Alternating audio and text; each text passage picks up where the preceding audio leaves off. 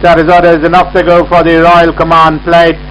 And as they sort themselves out in the early stages with Florencia leading this field by about a neck up in front now being joined on the outside and goes ahead is Island Pearl. Island Pearl is the leader by about half length in front of Barok and second Bergamo in quick attendance on the outside to be well up with the front runners. Right behind there comes the next is Florencia, Love for Life keeping company. Even more wide as Maybe Forever.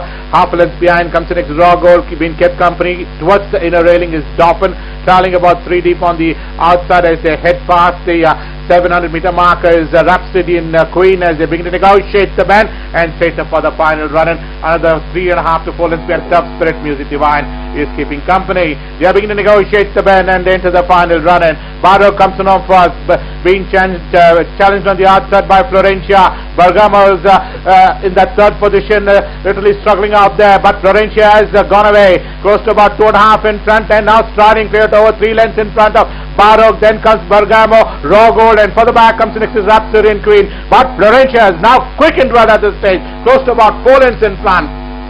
Florencia is the winner of the Royal Command plate from uh, Barok ending up second. Rhapsody and Queen finishes on third ahead of Raw Gold Bergamo. Then comes Maybe Forever. They have been followed by Dolphin, Island Pearl, Tough Spirit, Love for Life and ending up last, Music Divine.